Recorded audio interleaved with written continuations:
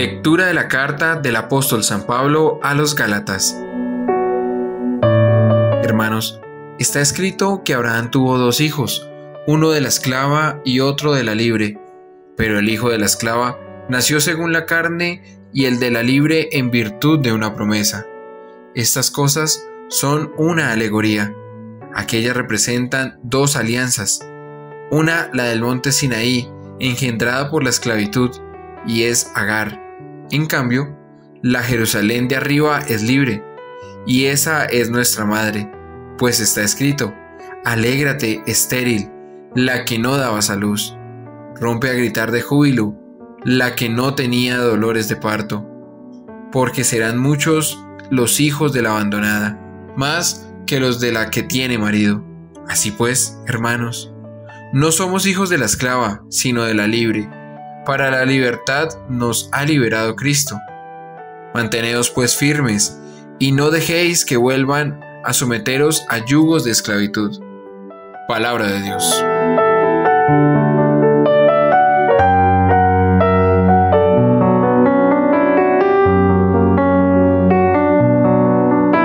Bendito sea el nombre del Señor por siempre. Alabad siervos del Señor, alabad el nombre del Señor. Bendito sea el nombre del Señor, ahora y por siempre. Bendito sea el nombre del Señor por siempre.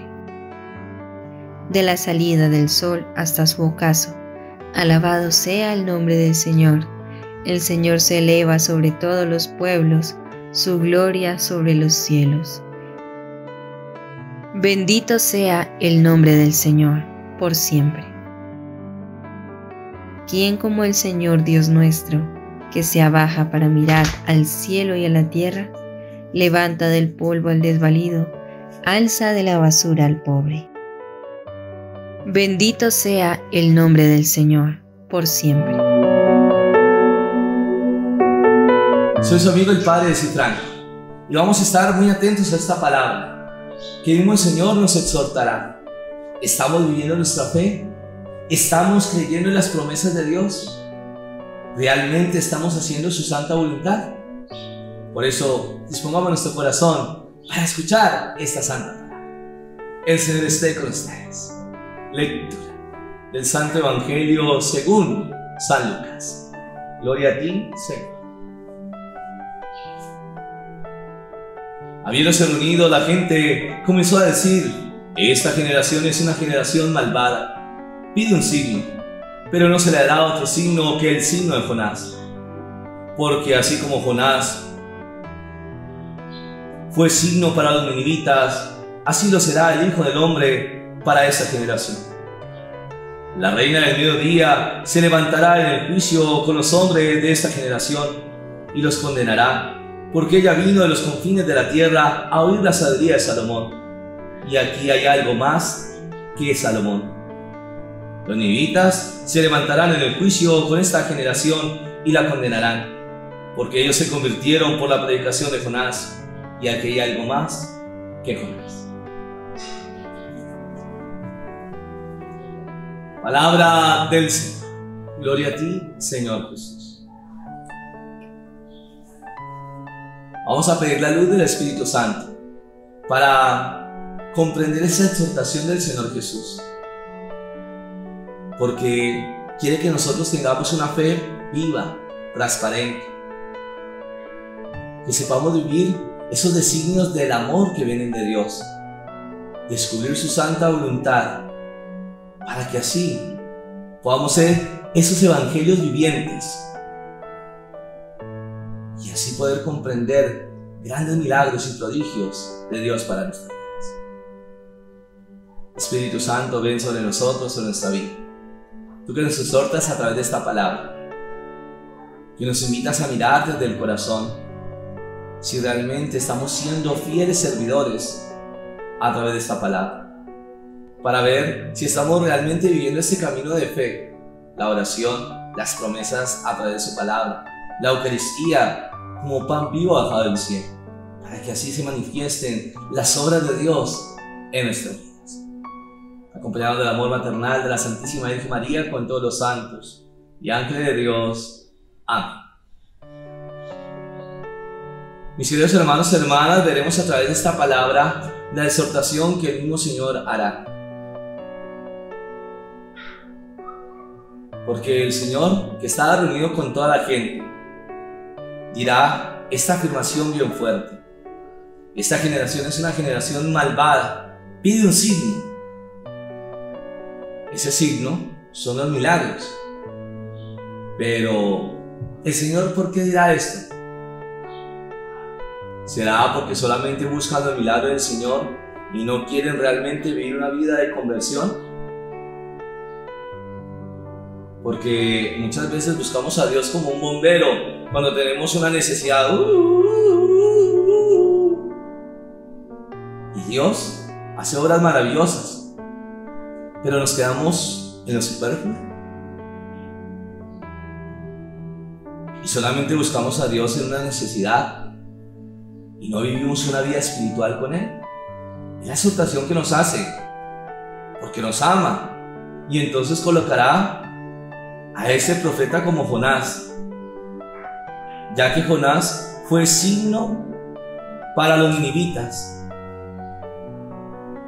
Pero mire la afirmación que hace el Señor. Así lo hará el Hijo del Hombre para esta generación. Que es la promesa que anunciarán los profetas en el Antiguo Testamento. El Hijo de Dios, el Mesías, estará en medio de su pueblo Israel. Que viene a mostrarnos el Señor el Evangelio, la buena nueva, el reino de Dios, el descubrir la voluntad de Dios en nuestras vidas y esos proyectos que nos hacen enriquecer nuestra vida. Pero realmente estamos preparados? ¿Estamos viviendo según conforme a la voluntad de Dios? También colocará este otro ejemplo. Así como la reina del mediodía se levantará en el juicio con los hombres de esta generación y los ponerá, porque ella vino de los confines de la tierra a oír la sabiduría de Salomón. Y aquí hay algo más que Salomón. Debemos comprender que el Hijo de Dios ha venido a salvarnos.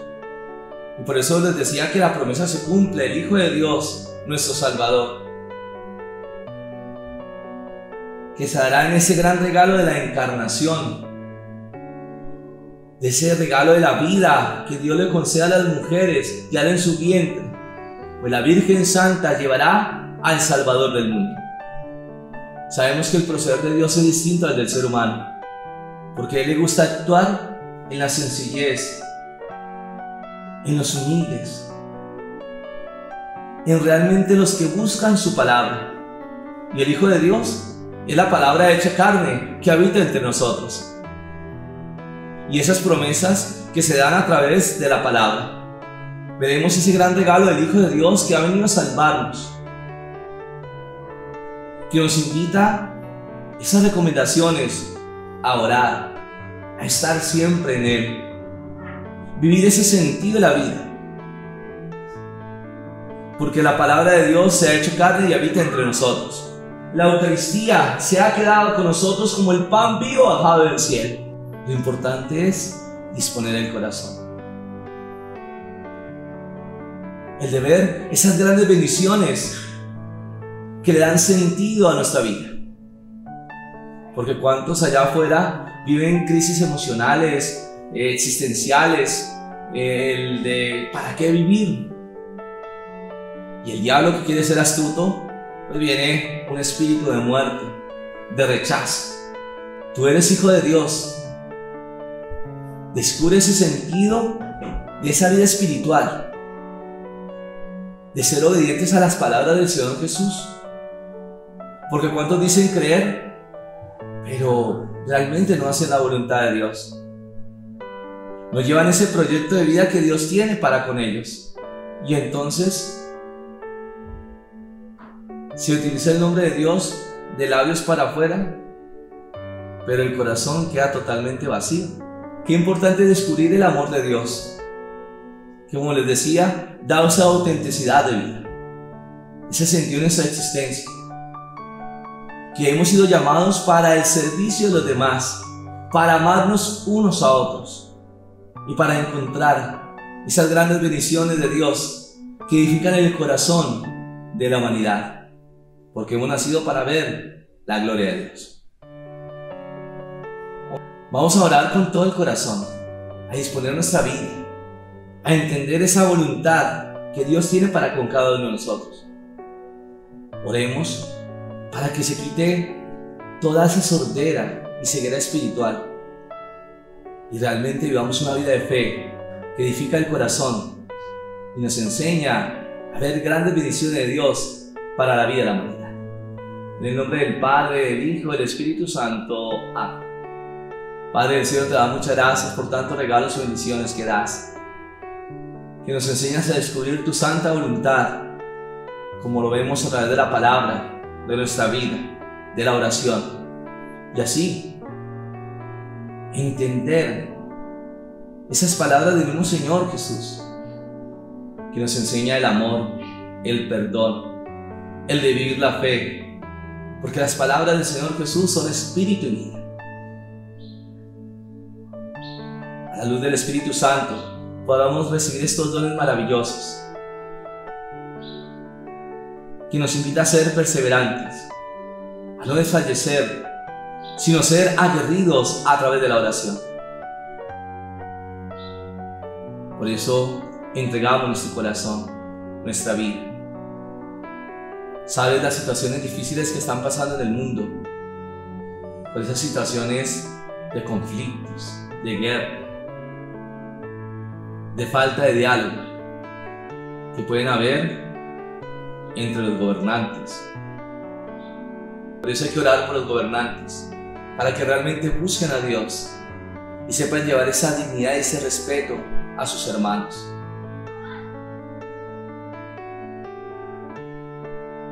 De vivir una vida justa, digna, de respeto, de servicio, de no esclavizar a través de leyes que están destruyendo a la humanidad. Porque el diablo quiere destruirnos y Dios lo reprenda. Que no tendrá ninguna autoridad. Por eso es importante entregarle el corazón. Oremos por las familias, que son el fundamento del amor, el hombre y la mujer, que unen en el santo matrimonio, para llevar esa vida santa a sus generaciones futuras. A los que ven unión libre, no duden en casarse. Abran su corazón a Dios para que vean cuántas bendiciones se derrama a través de ese sacramento que da vida. Qué importante es vivir nuestra fe para ayudar y servir a los demás. Que a través de las palabras del Señor Jesús haya ese consuelo. Tengamos atención a las palabras del Señor Jesús. Y Él que nos ha bendecido como ministros, la gran responsabilidad que nosotros tenemos de bendecirlos a cada uno de ustedes. Es un don que no ha sido por mérito, sino por amor. Y qué importante es caminar juntos para ayudar a tantos que necesitan del amor de Dios, de comprender el sentido de la vida de hacer las cosas bien, de ser bendición unos a otros. Porque así, a través del amor, podemos vencer al mal, descubrir la santa voluntad de Dios en nuestras vidas. El Señor esté con ustedes. Y la bendición de Dios Todopoderoso, Padre, Hijo y Espíritu Santo, descienda sobre ustedes y les acompañe siempre. Amén. Debemos darnos cuenta que Dios siempre está con nosotros pero como seres humanos nos da libertad. Te hago esa pregunta a ti. ¿Cómo has utilizado esa libertad? ¿Según conforme a la voluntad de Dios? ¿O esa libertad se ha vuelto libertinaje? ¿Pensando hacer lo que quieras?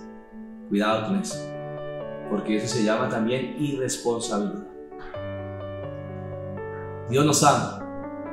Se entregó por nosotros en la cruz para salvarnos. Dios hace milagros, claro que sí. pero sobre todo quiere tu corazón. Que sea humilde, sencillo, dispuesto a realizar la voluntad de Dios, aunque haya momentos difíciles. Pero Él siempre estará con nosotros, porque en Él encontramos el sentido de nuestra vida. Ya dependerá de ti tu decisión, porque el Señor, ya dependerá de ti esa decisión, porque el Señor siempre está dispuesto para bendecirnos, para caminar con nosotros y así poder recibir grandes regalos que transforman el corazón de la vida. Bendiciones